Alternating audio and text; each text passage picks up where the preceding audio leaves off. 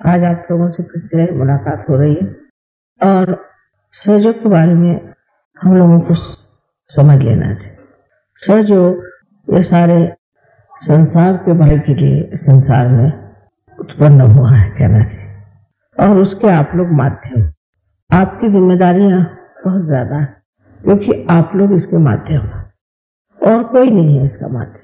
कि हम अगर किसी पेड़ को वाइब्रेशन दें या किसी मंदिर के वाइब्रेशन दें या कहीं और भी वाइब्रेशन दें तो चलायमान नहीं हो सकते। वो कार्यान्वित नहीं हो सकते। आप ही की धारणा से और आप ही के कार्य से फैल सकते हैं। फिर हमें यह सोचना चाहिए कि सहयोग में एक ही दोष है। ऐसे तो सहज है, सहज में प्राप्ति हो जाती है। प्राप्ति सहज में होने पर भी उसका संभालना बहुत कठिन है। क्योंकि हम कोई हिमालय पर नहीं रह रहे हैं। हम कहीं ऐसी जगह नहीं रह रहे हैं, जहाँ और कोई वातावरण नहीं है, बस सब आध्यात्मिक वातावरण है। हर तरह के वातावरण में हम रहते हैं उसी के साथ साथ हमारी भी उपाधियाँ बहुत सारी हैं जो हमें चिपके तो सहयोग में शुद्ध बनना, शुद्धता अंदर लाना, ये कार्य हमें करना पड़ता है। जैसे कि कोई भी चैनल हो, वो अगर शुद्ध ना हो तो उसमें से जैसे बिजली का चैनल है, उसमें से बिजली नहीं गुजर सकती। अगर पानी का नल है, उसके अंदर कुछ भरी हुई है, उसमें से पानी नहीं गुजर सकता। इसी प्रकार ये चैतन्य भी जिस नसों में बहता है, उनको शुद्ध होना चाहिए। और इन नसों को शुद्ध करने की ज़िम्मेदारी आप लोगों की। है हालाँकि आपने कितने बार कहा है माँ, हमें भक्ति दो। माँ, हमें नितान्त आपके प्रति श्रद्धा दो। किंतु ये चीज़ आपको खुद ही समझदारी में जानना है। पहली तो बात है कि शुद्ध जब नशे हो जाएँगे तो आप आनंद में आ जाएँगे। आपको लगेगा ही नहीं कि आप कोई कार्य कर रहे आप कोई सा भी कार्य करते जाएँगे, उसमें आप यश प्राप्त करेंगे। बहुत सहज में सारे कार्य होते जाएँगे। वो दुनियावी कार्य हर तरह की सहूलियतें आपके अंदर आएँगी हर तरह के लोग आपके पास आकर के आपको मदद करेंगे। आपको कभी कभी आश्चर्य होगा कि किस तरह से बिगड़ी बन रही है और किस तरह से हम ऊँचे उठते जा रहे हैं। इसमें लक्ष्मी जी की भी कृपा निहित है। कला की भी उन्नति निहित है। हर तरह की उन्नति प्रगल्भता इसमें आ रही है। पर ये सारे एक तरह के प्रलोभन है, ये समझ लेना चाहिए। क्योंकि कभी कभी मैं देखती हूँ कि किसी आदमी ने बिज़नेस किया, सहयोग में उसको बहुत रुपया मिल जाता है, फिर वो गिर जाता है, और इतने बुरी तरह से गिरता है कि उठाना मुश्किल हो जाता है। तो असों की स्वच्छता हमें करनी चाहिए। उसमें सवेरे का ध्यान अवश्य करना चाहिए। अगर आपका सवेरे ध्यान नहीं लगता है तो कुछ न कुछ खराबी हमारे अंदर आ गई है। कोई न कोई गड़बड़ी हमारे अंदर हो गई है। कोई न कोई अशुद्ध विचार हमारे अंदर आ गए उनको देखना चाहिए, जानना चाहिए, समझना चाहिए और सफ़ाई करनी चाहिए। जिसे कि हम इंट्रोस्पेक्शन कहते हैं, हमें अपनी और मुड़ के देखना चाहिए। ये आपके हित के लिए मैं कह रही हूँ। किसी और के हित के लिए नहीं। पहले तो अपना ही हित आप साध्य कर लीजिए। अगर आपके अंदर कोई दोष है बहुत वजह से उपाधियाँ होती हैं आपके होती हैं, वातावरण होता है, तौर तरीके होते हैं।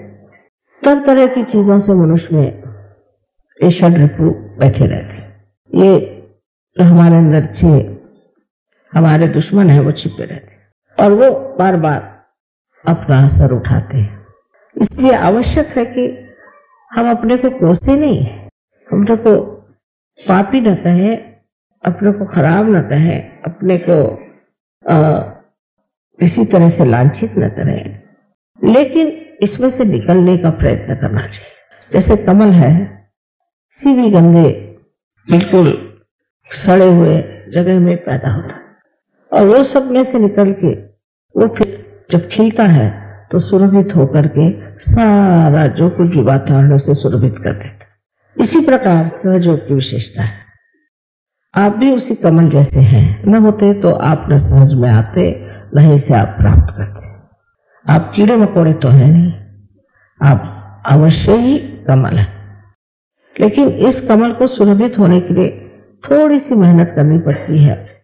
अपनी और नज़र करने सवेरे का जो ध्यान है, वो अपनी और नज़र करने का ध्यान है। कि मैं क्या कर रहा हूँ? मेरे अंदर क्या दोष है? मेरे अंदर क्रोध आता है, इस क्रोध को मैं कैसे नष्ट करूँ? मुझे और ऐसी इच्छाएँ होती हैं जो कि मेरे लिए दुखदाई, मुझे नष्ट करेंगी।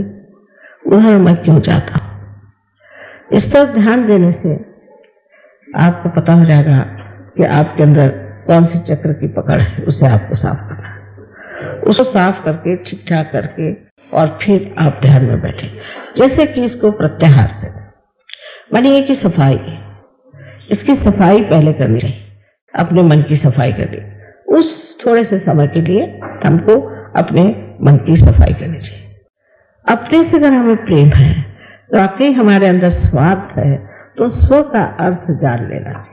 और सोच लेना चाहिए कि इस खराबियों से हमें क्या फ़ायदा? था क्षणिक कोई होता है, आनंद मिला। क्षणिक कोई उसे सुख लाभ हुआ, समझ लीजिए। कोई बात हुई भी तो भी उससे मैंने अपना तो ज़रूरी ही कोई ना कोई बड़ा भारी नुकसान कर दिया। क्योंकि तो ध्यान नहीं लगा, मैंने यही हुआ कि आपकी एकाकारिता भी साध्य नहीं। अब कोई लोग होते, वो ये भी कह लेते कि हमारा तो ध्यान लगता है, पर होता नहीं। तो अपने साथ सच्चाई रखना बहुत ज़रूरी चीज़ है। पर हम अपने साथ नहीं सच्चाई रखेंगे। तो फिर हम किसके साथ सच्चाई रख सकते हैं? ये अपने हित के लिए है, हमारे अच्छाई के लिए है, हमारे भलाई के लिए अधिकतर लोगों को मैं देखती हूँ, एक सहयोग में आने के बाद कोई बीमारियाँ अधिकतर नहीं होती अधिकतर लोगों को सहयोग में आने के बाद हर तरह का लाभ हो जाता है। और अधिकतर लोगों को मैं बहुत आंग में भी पाती हूँ। उनके घर के जो प्रश्न है वो भी छूट जाते हैं। सब कुछ व्यवस्थित हो जाता है सब ठीक हो जाता है। तो भी कभी कभी ऐसा होता है कि कोई न कोई वजह से किसी न किसी पुरानी त्रुटि की वजह से सह, सहज का ध्यान लगता नहीं। सवेरे उठ के ध्यान करना बहुत आवश्यक जो लोग सवेरे उठ के ध्यान नहीं करेंगे वो सहज में कितने भी कार्यान्वित रहे और सब कुछ करते रहे उनकी गहराई सकते क्योंकि आपकी गहराई में ही सारा सुख, समाधान, सारी संपत्ति, ऐश्वर्य, श्री, सब कुछ उसी गहराई में है। उस गहराई में उतरने के लिए बीच की जो कुछ भी रुकावटें हैं, उनको आपको निकाल लेना चाहिए। अपने पर प्रेम करके, अपनी और दृष्टि करके, अपने को समझ के कि मेरे अंदर ये दोष है, इस दोष को मुझे निकाल देना चाहिए। दूसरों के दोषों की ओर बहुत जल्दी हमारी नज़र जाती है। ये काम आपका नहीं, मेरा काम है। ये आप मेरे ऊपर काम छोड़ दिए आप अपने दोषों को और देखिए। और उसके बाद शाम का जो ध्यान है वो शाम के ध्यान में समर्पण होना चाहिए। तब फिर आगे की बात आती है कि आप इस तरह से समर्पित है। माने उस वक्त सोचना चाहिए कि मैंने सहयोग के लिए क्या किया? मैंने सहज को योग के लिए कौन सा कार्य किया? आज दिन भर में मैंने सहयोग पे कौन सा कार्य किया? शरीर से, मन से, बुद्धि से। एक अंधे गायक है, बहुत मशहूर है। विद्वान है, बहुत पढ़े लिखे हैं तो है ही पता नहीं कैसे वो अंधे आँख से इतना पढ़ा है उन्होंने। वो मेरे से तीन चार बार मिले बस। और ऐसी कविता उनकी फूट पड़ी कि मैं सोचा, ये कैसे एकदम धस गए अपने गहराई में। ऐसी कविता फूटी कैसे इनके दिल से? ऐसी ऐसी बातें कि जो हज़ार देवी के नाम में भी नहीं लिखी हुई, वो भी उन्होंने वर्णित करी। और बिल्कुल सही माने में ऐसा उन्होंने वर्णन कैसे किया? तो उनकी गहराई पहले थी, जैसे आप सबकी है। लेकिन वो घुस पड़े उसमें। उसको प्राप्त किया उन्होंने। पहुँच गए वहाँ। सबके अंदर ये संपदा है। सब ही पूरी तरह से उसे प्राप्त भी कर सकते तो शाम का ध्यान है, वो बाहर की ओर होना चाहिए। माने मैंने औरों के लिए क्या किया? मैंने सहयोग के लिए क्या किया? मैंने माँ के लिए क्या किया? ये सब विचार आपको रखना चाहिए। जब आप ऐसे बैठ के सोचेंगे तो सोचना चाहिए इस तरह से कि वो मुझे कितना प्यार करते हैं। उन्होंने मुझे कितना प्यार दिया। मैंने उन्हें दिया इतना प्यार। वो कितने मेरी तरफ़ सिंसियर है। मैं इतना उनकी तरफ़ सिंसियर रहा। इस तरह की बात सोचने से फिर आपको आनंद आने लग जाएगा, जब आप सोचेंगे कि मैंने इतना प्यार किया। क्रोध करना, नाराज़ होना, झगड़ा करना, दूसरों के दोष देखना, इसमें अपना समय बर्बाद करने से देखना चाहिए कि उन्होंने किस तरह से मुझे पार किया। हमारे सहयोग में इस प्यार बहुत शुद्ध है। इसमें कोई गंदगी नहीं होनी चाहिए। अगर इस प्यार में गंदगी आ जाए तो सहज का प्यार नहीं। बिल्कुल देने वाला, जिसे निर्वाज्य कहा गया है। निर्वाज्य माने इसमें ब्याज भी नहीं मांगा जाता। ऐसा प्यार मैंने किसे दिया? फिर जब आप सोचेंगे कि मैं इतना प्यार करता हूँ, प्यार करती हूँ, बड़ा आनंद आएगा। न कि तब, जबकि आप कहें, मैं उसको बिल्कुल नफरत करता हूँ, उससे मैं, वो ऐसा है, वो खराब है, ये तब आनंद नहीं आएगा। आनंद तभी आता है जब हम ये सोचते हैं कि ये प्यार का आंदोलन चल रहा है। बड़ी सुंदर भावना मन में उठती है फिर। और ये सुंदर भावना एक तरह की प्रेरणा स्वरूप होती है। उसका वर्णन तो करना मुश्किल ही है, किंतु तो उसकी झलक चेहरे पे दिखाई देती है। उसकी झलक आपके शरीर में दिखाई देती है, आपके गृहस्थी में दिखाई देती है। वातावरण में दिखाई देती है और सारे ही समाज में दिखाई देती है। इसलिए दोनों समय का ध्यान अवश्य सबको करना चाहिए। एक आध दिन खाना खाया तो कोई बात नहीं। एक आध दिन घर बाहर घूमने नहीं गए तो कोई बात नहीं। एक आध दिन आराम नहीं हुआ तो कोई बात नहीं। लेकिन ध्यान सहयोगियों को अवश्य करना चाहिए। क्योंकि ध्यान ही में पाया जाता है। तो सवेरे ध्यान अगर हम कहें ज्ञान का है तो शाम का ज्ञान भक्ति का है। इस तरह से अपने को जब आप बिठाते जाएँगे, तब आप समझ लेंगे कि आप कितने महत्वपूर्ण है। आपका महत्व इतिहास में कितना है? ये इतना बड़ा कार्य जो हो रहा है सहयोग में, ये सब आप ही के माध्यम से हो जाए आप अपने को औरों से मत तोलिए। जो लोग बड़े यशस्वी होते हैं, जो बड़ी बड़ी जगहों में रहते हैं, वो लोग ये काम करने वाले नहीं। डरपोक लोगों से भी ये काम नहीं होने वाला। लेकिन ऐसा बनना होगा। पहले लोग हिमालय पे जाते थे, हज़ारों में से एक आध को ही आत्म साक्षात्कार की अनुभूति होती थी और बाकी तो सब ऐसे ही रह जाते थे। तो बड़ी तपस्या करनी पड़ती थी। अब आपको तपस्या करने की ज़रूरत नहीं, हिमालय पे जाने की ज़रूरत है भूखे रहने की ज़रूरत है कुछ करने की ज़रूरत है तो आपकी सफ़ाई होने का कौन सा मार्ग सहयोग में है? शायद आपने जाना नहीं तो जान लीजिए कि सामूहिकता।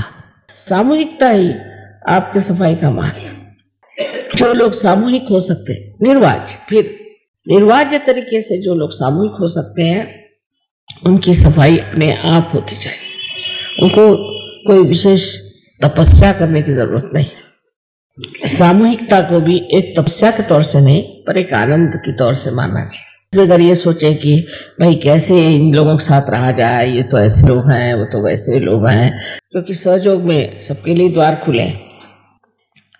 तो वो आपके लिए कठिन जाएगा अगर आप सोचेंगे तपस्या के मामले में उसको मज़े से जो उठा सकता है, वही सहज की तपस्या। सब चीज़ हो ही रहा उसमें करने का क्या? सब चीज़ बनी रही है, उसके बनाने का क्या? आपकी स्थिति देवता जैसी है, ये समझ लेना चाहिए। उससे कम नहीं क्योंकि तो जैसे देवता लोग, हम उनसे कहें या ना कहें, अपने कार्य को करते ही रहते हैं। उसी प्रकार आपका भी हो जाना चाहिए।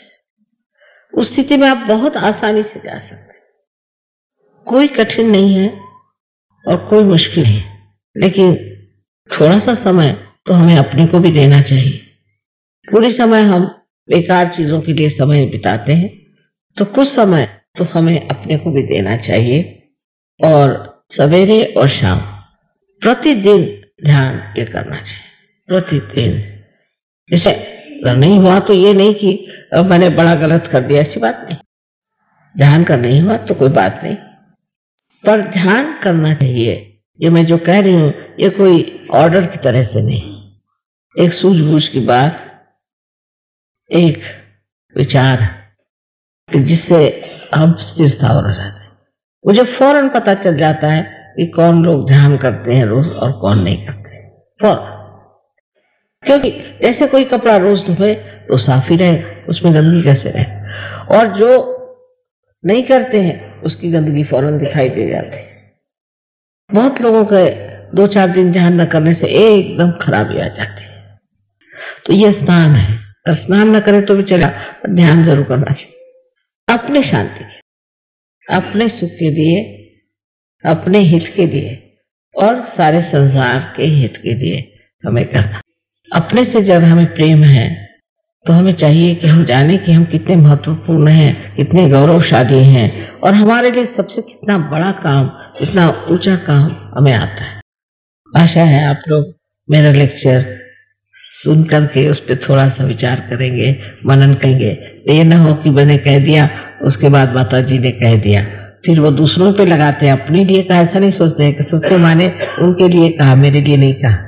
हर एक को सोचना चाहिए ये मेरे लिए कहा है और मुझको कैसे ऊपर चलना है, इसमें कैसे मुझे कामयाब होना है, मुझे कैसे बढ़ना सबको अनंत आशीर्वाद।